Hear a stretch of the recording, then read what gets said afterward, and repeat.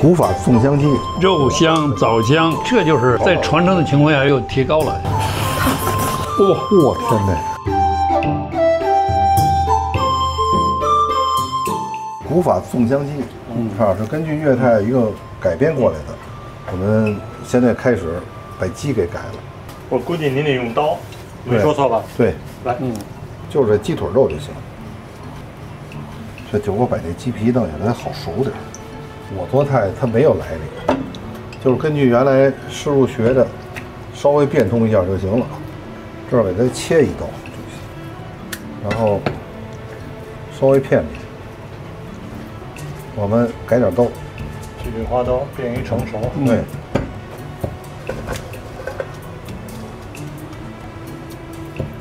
大条儿，这菜简单省事儿，这鸡腿有点多了啊。先腌上它，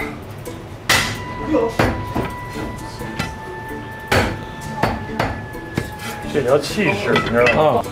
就是葱姜黄酒，老黄酒黄酒，我先腌它一会儿，腌腌腌它，腌它一会儿，把那豆豉也炒了，这火不能太大了啊，搁点油，搁点大油，香油，再搁点油，有点香油，对，行，三荤油，嘿，这香味儿出来了，豆豉，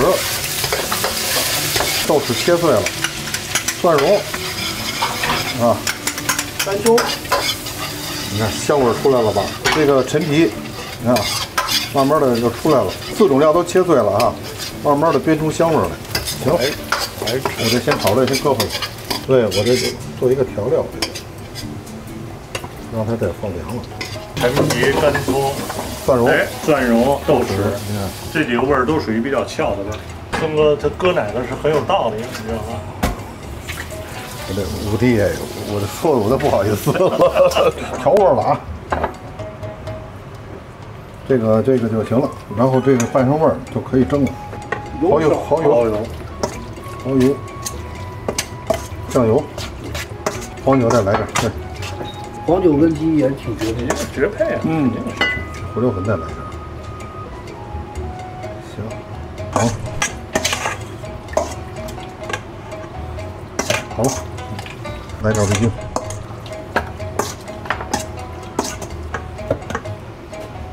枣儿、黄花，木耳，刚才炒来酱搁里边啊，怎么样？这这点油，这鸡吃进去，有淀粉。啊。好，哎，行了行了，好了好了好了，哎，行，跟他穿了一个薄薄的外衣一样。这你别说你拌的这个，我一看就香。来点香油，没有香油。了，嗯，好，再来点粉子锁它一下吧。这鸡饭老抽鸡饭老啊，嗯来点。来吧，粽粽子叶吧，给它。咱没必要包粽子，包粽子时间也长。这个呢，搁搁点搁两个，一俩合适。然后一个枣，一个黄花儿，搁这个两点木耳，来点黄花儿。其实就这么卷上就行，是吧？来，快燃一下，捆上一下就行了。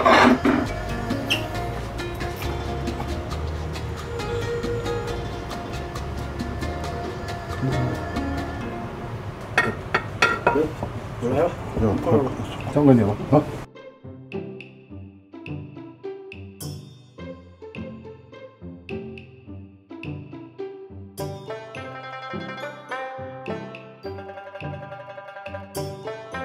这边来了，亮哥来了，亮哥，搁点儿这水里边儿的，你看看啊，那搁点叶子照一下，对，是不是？这都行，你看没有？这种味儿，粽这这粽香。味儿更浓。做菜这个得好吃，还得好看。来，开火二十天。开火，大火烧开。十八十八分钟。嘿家伙，不错，真棒。行，挺好。